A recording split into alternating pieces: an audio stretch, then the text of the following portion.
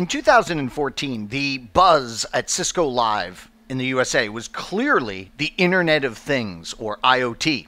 In 2015, in beautiful San Francisco, the buzz was clear.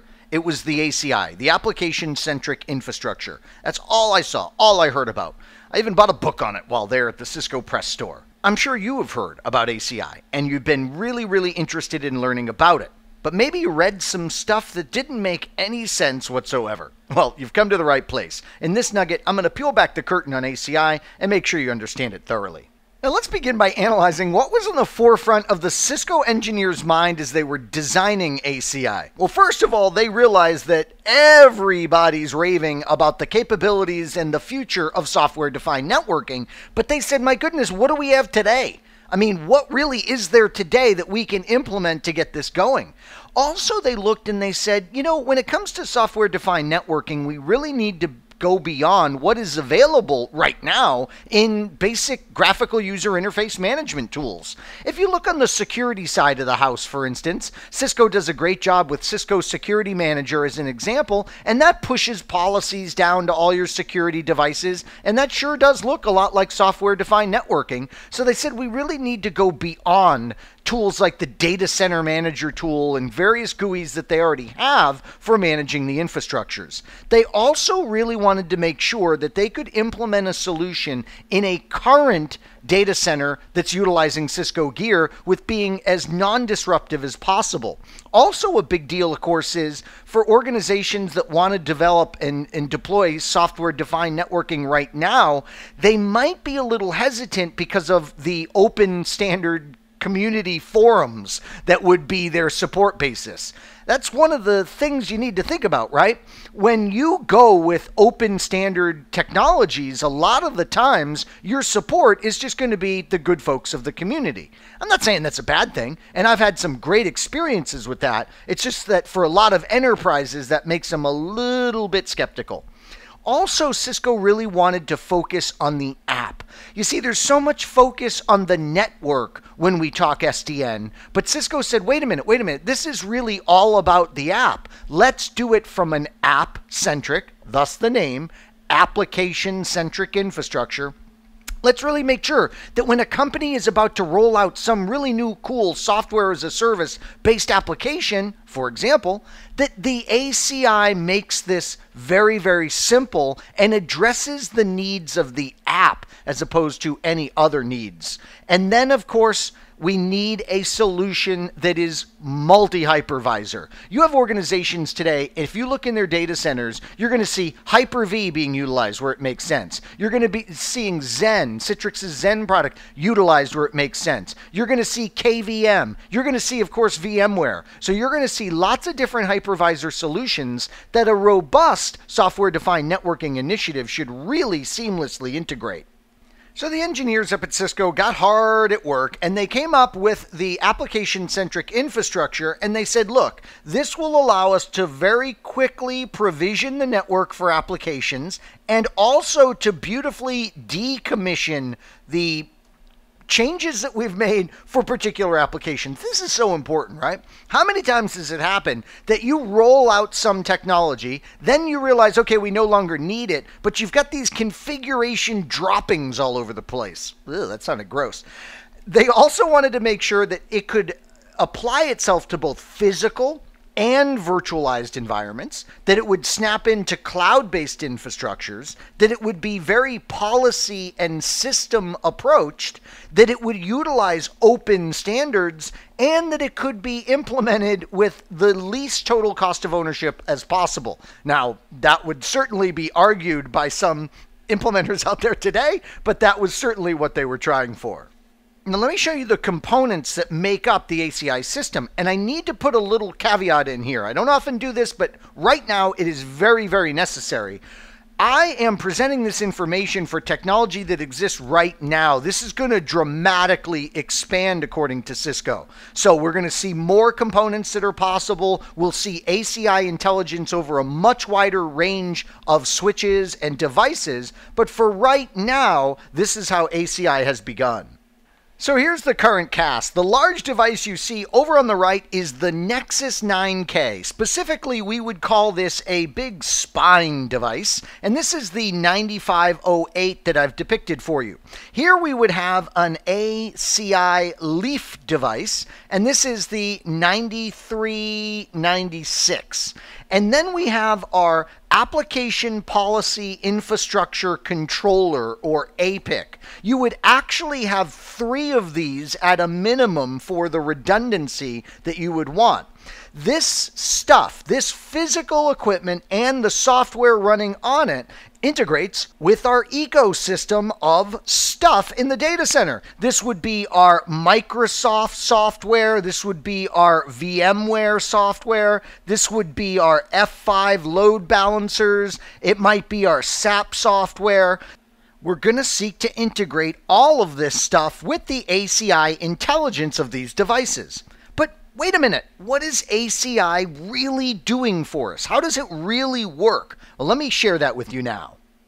So, if you look at a lot of applications today, you'll see that there is a web interface component. This is how the users get in and use the application. Woohoo, yeah, we love this app. Oh, this app is great. Thank you so much. You guys are the best. Then there's the intelligence for the application itself, and then there's usually the database that this application draws from. For the web interface, let's say this is being presented by a VM. For our application, let's say it's some physical servers that get involved and also some virtual machines that get involved. And then let's say for the database, it is on an old school physical server.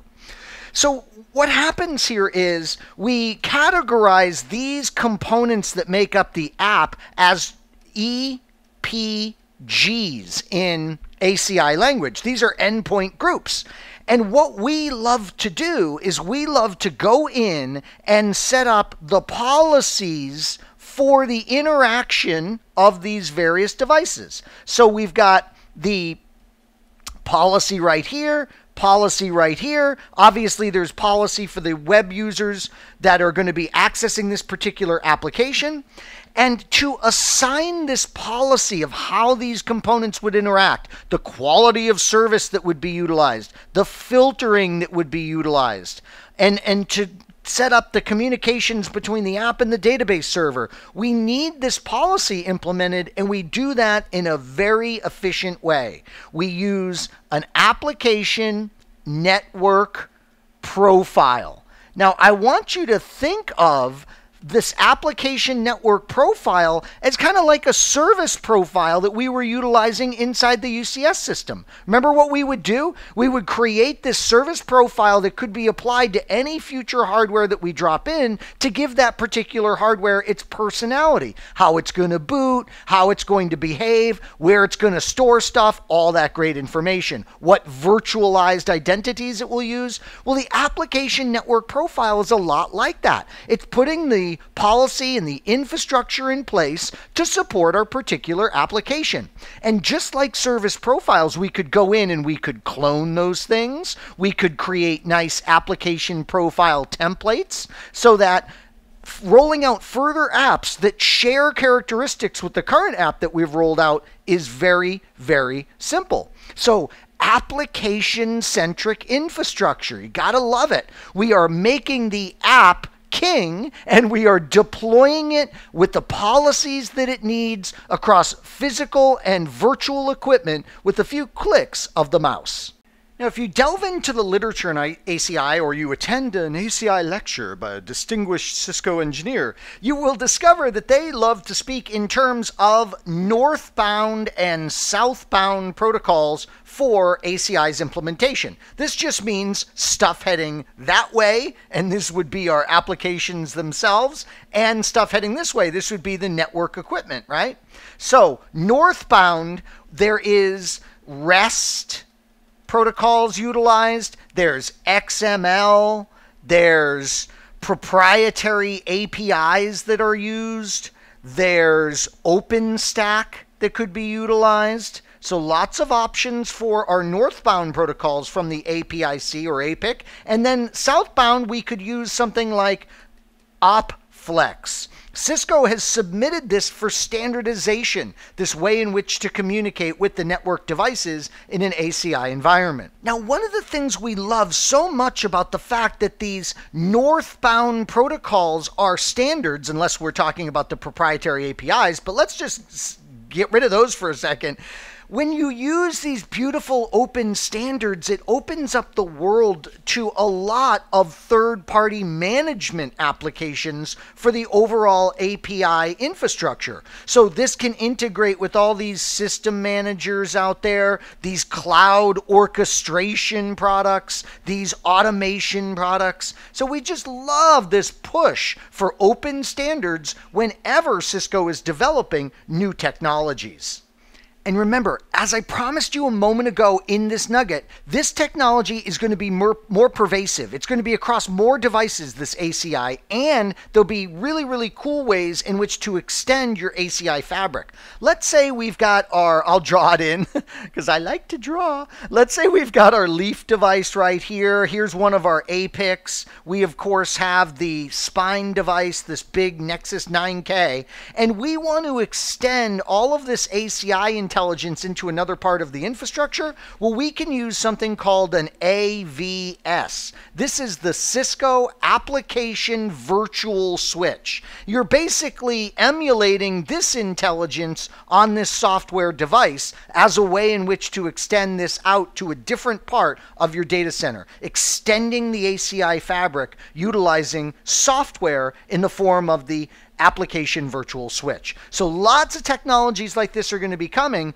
to make it easy for us to extend this intelligence and let's face it, make the intelligence more affordable and more achievable. And it's at this point in the nugget that I pause and I reflect for a moment on just how incredibly lucky I am. I am so lucky to be training for CBT Nuggets full time because of nuggets like this one.